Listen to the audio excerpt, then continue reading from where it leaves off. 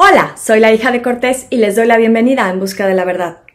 Aun cuando los elementos superficiales que rodean a la Navidad empiezan a vislumbrarse desde noviembre, la Navidad realmente comienza hasta el 25 de diciembre, día del nacimiento de Jesucristo, quien encarnado en la Santísima Siempre Virgen María, nace en un humilde pesebre. Desafortunadamente, cada vez se extiende más la falsa creencia de que la celebración de la Navidad tiene un origen pagano. Esta se remonta al siglo XII, con el obispo sirio ortodoxo Jacob Barsalibi, quien propagó el relato de que a fin de contrarrestar la fiesta pagana del Sol Invicto, los padres de la Iglesia decidieron que la Navidad se celebrara el mismo día.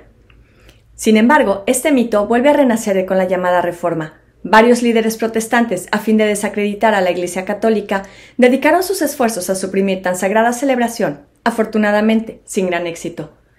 Esta creencia vuelve a resurgir a fines del siglo XIX y es en nuestros días que se ha puesto nuevamente de moda por ser muy conveniente a la ideología anticristiana que rige nuestra sociedad. Pero dejemos atrás los mitos y veamos cómo se estableció realmente la fecha de Navidad. Aunque los textos bíblicos establecen que Cristo nace en tiempos del emperador Herodes, no registra una fecha específica. Sin embargo, el evangelista San Lucas, discípulo de San Pablo, establece la anunciación del ángel Gabriel a la Santísima Virgen María en el sexto mes del embarazo de Santa Isabel, madre de San Juan el Bautista. Esta fecha coincide con la creación del mundo de acuerdo al calendario judío, que se celebraba el 14 de Nisan. Con estos datos, los primeros cristianos asociaron el comienzo de la encarnación del Verbo, es decir, la virginal concepción de Jesucristo, el 25 de marzo. San Ireneo, padre de la Iglesia, quien naciera alrededor del año 125 después de Cristo, basándose esta antigua tradición, estableció formalmente la virginal concepción de Jesucristo el 25 de marzo y fijó el nacimiento de Cristo exactamente nueve meses después, es decir, 25 de diciembre, justamente durante el solsticio de invierno, cuando el sol, próximo a extinguirse, triunfa sobre las tinieblas y reaparece con un nuevo resplandor. El considerado padre de la cronología cristiana, Sexto Julio Africano, quien viviera entre los años 160 y 240 después de Cristo, confirmó la fecha del 25 de marzo como el día de la concepción de Cristo y la vinculó con su nacimiento exactamente nueve meses después, el 25 de diciembre. Como vemos, la tradición de celebrar el nacimiento de Cristo justo el 25 de diciembre proviene de la Iglesia primitiva. Además, el historiador William J. Tyke sostiene que los cristianos en los primeros dos siglos establecieron el 25 de marzo como la fecha de la crucifixión, fecha aceptada de su concepción. Agregando nueve meses, los cristianos llegaron al 25 de diciembre como la fecha del nacimiento de Cristo.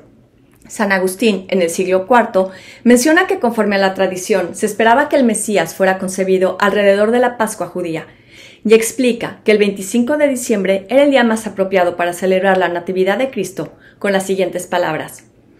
De ahí que él nació el día que es el más corto, y a partir del cual comienzan los siguientes días a aumentar en longitud. Él, por lo tanto, que se inclinó y nos levantó, eligió el día más corto, más aquel en el que la luz empieza a aumentar. Este día, efectivamente, en el que la luz comienza a crecer, era propósito para simbolizar la obra de Cristo, quien, por medio de su gracia, renueva continuamente nuestro hombre interior. Habiendo resuelto el Creador eterno nacer en el tiempo, convenía que el día de su nacimiento estuviese de acuerdo con la creación temporal. El obispo de Hipona, en otro de sus sermones sobre el nacimiento de Cristo, explica la, frase de San Juan Bautista, de Juan 3:30. Hace falta que él crezca y que yo disminuya. Dice San Agustín, Juan vino al mundo cuando los días empiezan a disminuir. Cristo nació en el momento en que comienzan a crecer. De este modo, todo es misterioso la salida del astro precursor en el solsticio del verano y la aparición del sol celestial en el tiempo de las tinieblas.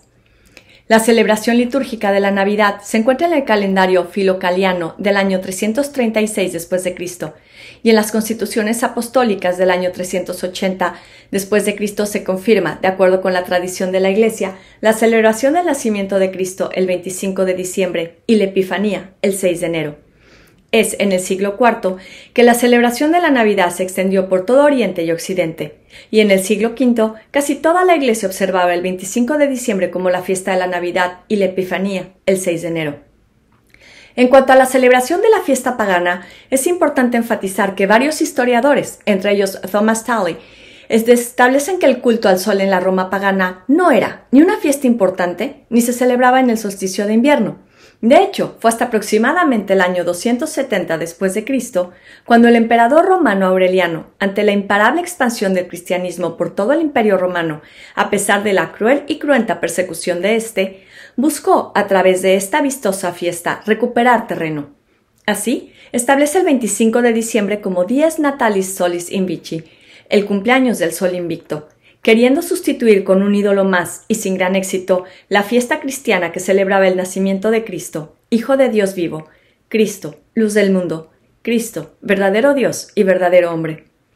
Terminó con la siguiente frase de San Gregorio Nianceno: Cristo nace, ensalzadle. Cristo baja del cielo, salidle al encuentro. Cristo está allá en tierra.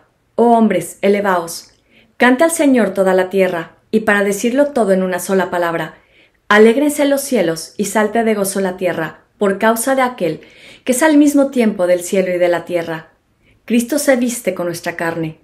Estremeced de temor y alegría. De temor por razón de nuestros pecados.